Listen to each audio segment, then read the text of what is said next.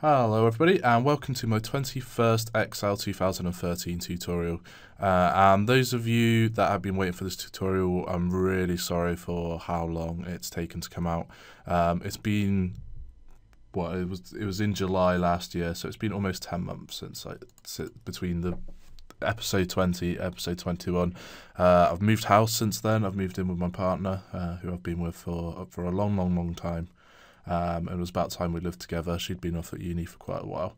Um, so now we're living together, uh, and uh, my job changed as well. I got a new job, uh, or a new position in an existing job, um, which has taken up a lot more of my time. Uh, I haven't been able to have a day off a week anymore.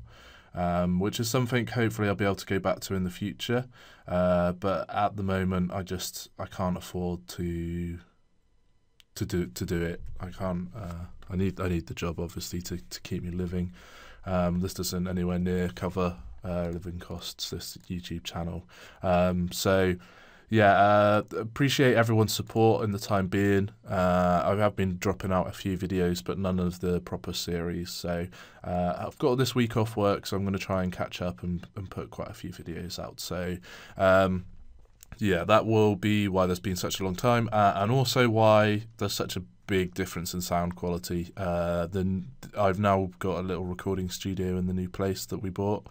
Um, it's very small. It's just a little room, and I've soundproofed the walls and uh, stuff like that. So it should be sounding a lot better than the last tutorial. So hopefully that helps you out. Anyway, this one is on subtotals. Sorry to go off on a bit of spiel there. Um, so subtotals is uh, like in the last one where we were doing grouping. Uh, it's very similar, but it kind of just does everything for you automatically. So if we highlight our data here and you need to make sure it's not formatted as a table because subtotals won't like that. Uh, and once you've highlighted your table, just go into data uh, and then click on subtotal. Now, it's going to create little totals in there for you, similar to how the grouping does. Um, and it's going to be based on here. So we want to do for each of our customers, so we're using the customer ID as our change, uh, and then we want to add up the the value and the quantity and things like that.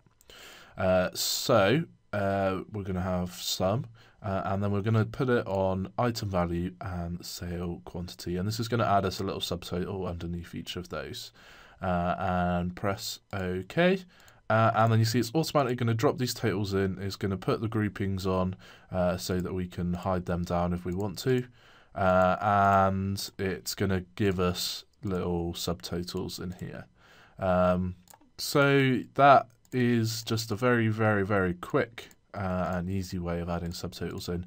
Now you can um, you can switch around what you've got, so you could change it to average, uh, and then that will put an average in there.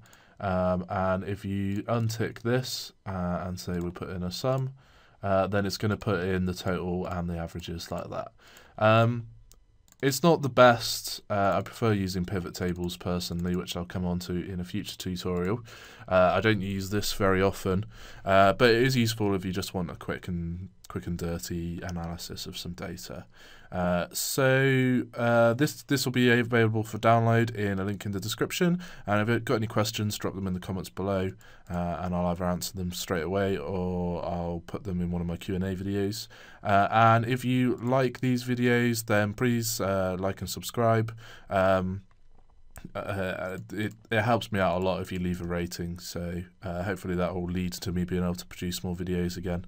Uh, but I thanks for watching, and I hope to catch you soon.